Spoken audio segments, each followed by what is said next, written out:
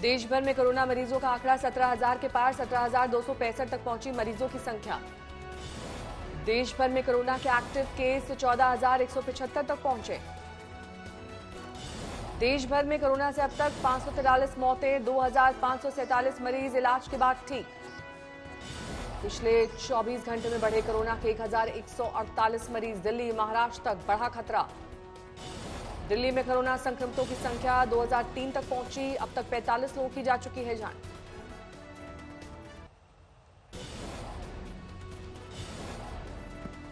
दिल्ली में बड़ी containment zone की संख्या दो और इलाके सील। कुल अठहत्तर इलाकों में बढ़ती जा रही है सख्ती।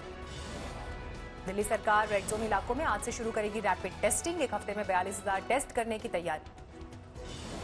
देश भर में महाराष्ट्र बना कोरोना का एपिसेंटर। 4,203 तक पहुँचा मरीजों का आंकड़ा अब तक 223 लोगों की मौत। मुंबई में अब तक 2,724 लोगों में हो चुकी है वायरस की पुष्टि 132 मरीजों की मौत।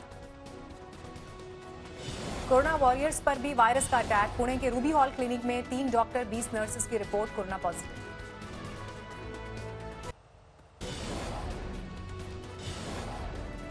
यूपी में कोरोना के अब तक एक हज़ार चौरासी मामले 17 पीड़ितों की हो चुकी है मौत। लखनऊ के किंग जॉर्ज मेडिकल यूनिवर्सिटी में तिरालीस मरीजों की रिपोर्ट पॉजिटिव, आगरा के एसएन मेडिकल कॉलेज में भर्ती। यूपी में नोएडा और गाजियाबाद बने हॉटस्पॉट, गौतम बुद्ध नगर में अब तक सत्तानवे लोग बीमार, गाजियाबाद में कोरोना के तीन नए मामले। मध्य प्रदेश में अब तक 1407 लोग कोरोना वायरस से संक्रमित 70 मरीजों की हो चुकी है मौत। गुजरात में अब तक एक लोग कोरोना से संक्रमित, तिरसठ लोगों की जा चुकी है जान।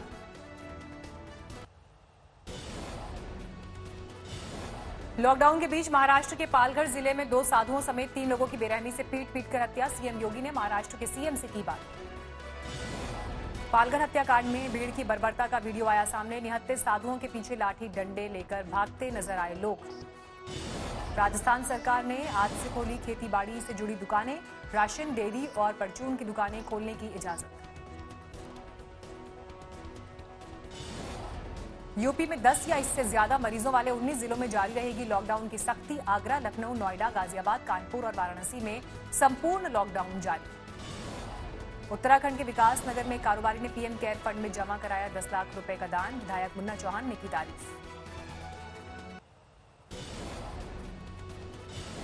कोरोना से दुनिया भर के देश बेहाल। 24 लाख से ज़्यादा लोग बीमार, एक लाख चौसठ हज़ार से ज़्यादा मरीजों की मौत। अमेरिका में कोरोना से अब तक सबसे ज़्यादा मौतें, चालीस हज़ार से ज़्यादा मरीजों ने गंवाई जान। अमेरिका ने कोरोना को लेकर एक बार फिर चीन पर साधा निशाना। कोरोना वॉरियर्स टास्क फोर्स के कोऑर्डिनेटर ने कहा, महामारी को लेकर पारदर्शिता ज़रूरी। फ्रांस में एक दिन में तीन मौत के साथ मरने वालों का आंकड़ा उन्नीस हज़ार के पार। अब तक एक लाख बावन हज़ार से ज़्यादा बीमार। फ्रांस में एक दिन में सामने आ रहे मरीजों की संख्या घटी। 24 घंटे में 1101 नए मामले।